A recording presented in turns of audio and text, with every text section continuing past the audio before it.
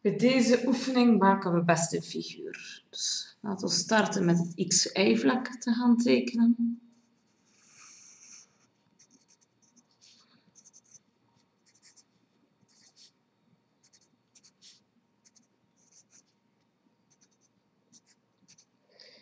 Dan hebben we de vector V1 die een lengte 2 heeft en een hoek van 30 graden met een positieve x-as. We de coördinaten moeten gaan zoeken van een vector waarvan we de lengte kennen en de hoek, dan doe ik dat zelf altijd met het beeld van de goniometrische cirkel. Dus een goniometrische cirkel is een cirkel met straal 1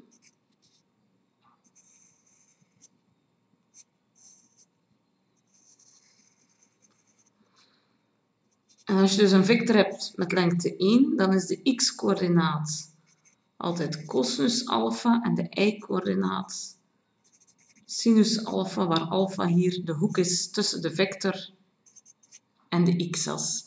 Als uw vector nu niet lengte 1 heeft, maar lengte 2, zoals hier het geval is, dan worden die coördinaten twee keer zo groot. Dus dan wordt die x-coördinaat twee keer cosinus alpha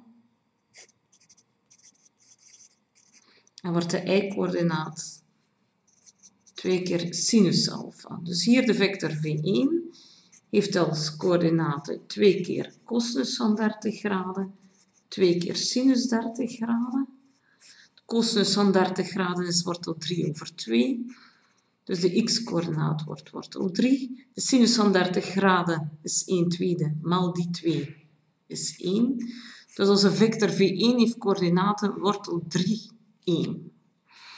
Wortel 3 is ongeveer 1,7, dus het punt ligt ongeveer hier.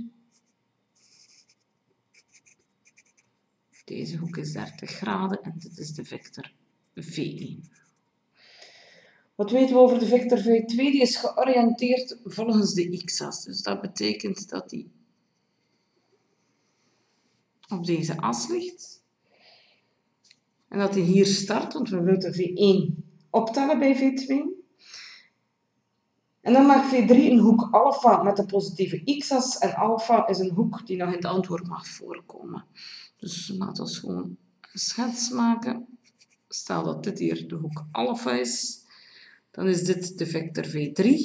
En dit eindpunt moet ook het eindpunt zijn van de vector V2 als ik hem hier laat vertrekken.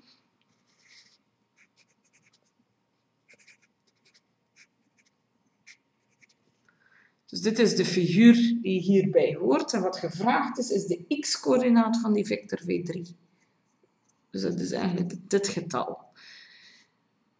En wat zien we hier? We hebben hier een rechthoekige driehoek met een lengte 1, een hoek alpha die als antwoord mag voorkomen en een zijde die we moeten berekenen.